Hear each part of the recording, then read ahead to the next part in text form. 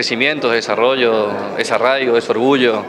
La verdad que el turismo tiene varias características y, bueno, en la provincia en este tiempo hemos ido consolidando esa oferta eh, para los misioneros, para el turismo nacional y para también el turismo internacional que, sigue llegando en, gran medida eh, y que bueno, en esta última etapa del año podemos ver un, gran crecimiento de lo que es los mercados regionales y también los mercados internacionales. Interesantes los datos de este año. Sí, más o menos promedio, ¿no es cierto? Eh, en cuanto a movimiento de pasajeros, más de 1.400.000 en, en los dos aeropuertos.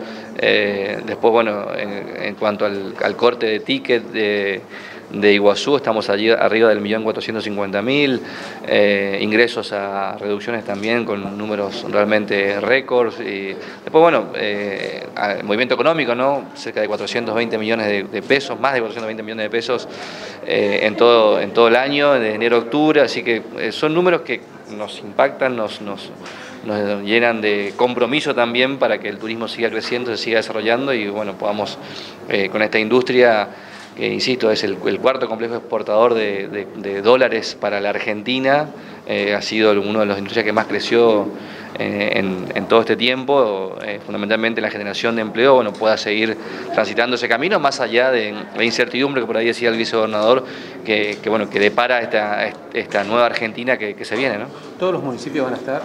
Sí, invitamos a todos, eh, ya tenemos más de 20 confirmados con stand propios, aquellos que no tengan stand nos mandan toda su información este, turística y bueno, vamos a estar todos los informantes eh, trabajando y mostrando todos los atractivos de, la provincia. Las agencias también se suman, ¿no? Agencias de turismo, eh, este, bueno, hoteles, restaurantes, también aquellos prestadores turísticos que tienen que ver con el turismo activo, lo que tiene que ver con, el turismo aventura fundamentalmente, que bueno, que hay una gran demanda, más del 80% se los número ahí de, la gente que llega a Misiones, busca naturaleza, entonces la experiencia selva, la experiencia naturaleza, eh, bueno, hoy es una experiencia segura, eh, visible, palpable, que bueno, la puedes contratar por un, a través de cualquier este, atractivo, entonces bueno, la idea es que ellos también estén presentes para, para también bueno, generar ese ida y vuelta con, los turistas de manera personal. Sí, siempre buscamos nuevos mercados, siempre buscamos poder ampliar la oferta, siempre buscamos que que aquellos que vienen por ahí solamente con la foto de cataratas a misiones, bueno, encuentren también diversidad, encuentren cultura, encuentren este, eventos, encuentren distintos atractivos que, bueno, que le vayan generando más noches de, pernocte en, misiones. ¿Cuáles son las expectativas para la temporada de verano? Y son muy buenas, eh, a pesar de la cuestión climática que por ahí tiene que, tiene que ver, ¿no cierto?, con, algo que obviamente no, manejamos. Eh, Misiones se ha preparado para, para que el verano misionero sea eh, un, un, momento del año muy bueno. Eh, digo esto porque hablar hace un par de años atrás del verano en Misiones era difícil, ¿no?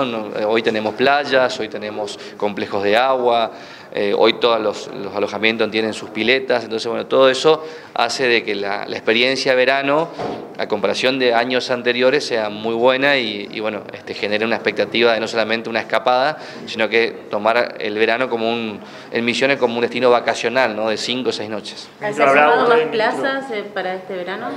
Se siguen sumando plazas, sí, se siguen sumando emprendimientos. Eh, la zona de, Oberá y del Soberbio, bueno, fueron los últimos que hemos inaugurado. Iguazú también, Iguazú también está sumando atractivos. Eh, el mercado de la selva es uno de los últimos que inauguramos también hace muy poco junto con el gobernador, que, bueno, son experiencias gastronómicas, de alguna manera tratan de visibilizar y poner en vidriera todo lo que es la agricultura familiar, eh, así que esos conceptos del kilómetro cero, de la trazabilidad de los platos, que hoy pegan muy bien, lo que es la comida sana, la comida orgánica, bueno, Misiones tiene mucho potencial en eso, tiene mucho trabajo hecho, por eso también es importante la presencia de Marta y todo el equipo de agricultura familiar para eh, visibilizar, digamos, todas esas acciones. Ministro, hablado... ¿La valorización de la economía cree que puede llegar a beneficiar justamente al turismo en Misiones y también la llegada de nuevas empresas de aerolíneas? Sí, me parece que la, llegada de nuevas empresas es, bueno, es, importante, este, generar nuevas inversiones siempre es bueno. Lo importante es que tengamos buenas condiciones jurídicas y políticas y que le den eso certeza, digamos, a, los, inversores. Y en cuanto a la realización, bueno, es una experiencia que la verdad que no, la tenemos todavía bien en claro. Eh, este, creo que nadie, la tiene bien en claro y bueno, hay que esperar, digamos, darle el tiempo también suficiente al gobierno, que se acomode, que plantee sus propuestas, sus ideas. Eh, ha sido casi el, en Misiones ha sido casi el 60% de misioneros que han, que han creído en esa propuesta, por eso hay que ser muy respetuosos y, bueno, acompañar y, fundamentalmente trabajar en conjunto para que, para que, bueno, todas esas propuestas y ese, ese voto de esperanza eh, que depositó la gente en el candidato, bueno, sea, sea posible. ¿no? ¿Cree que va a continuar programas como el previaje una vez que asuma el nuevo presidente? Y en, principio lo tenemos en claro, digamos, de que la, política de él no, no tiene nada que ver con esos programas, ¿no? que son de, estímulo, de, ayuda, de subsidios, eh, no, no, no pasan, digamos, la lógica por ahí, pero pero bueno, hay que también una cosa lo que uno pueda decir en, el marco de una campaña, otra cosa cuando uno se encuentra en la realidad, trabajando día a día.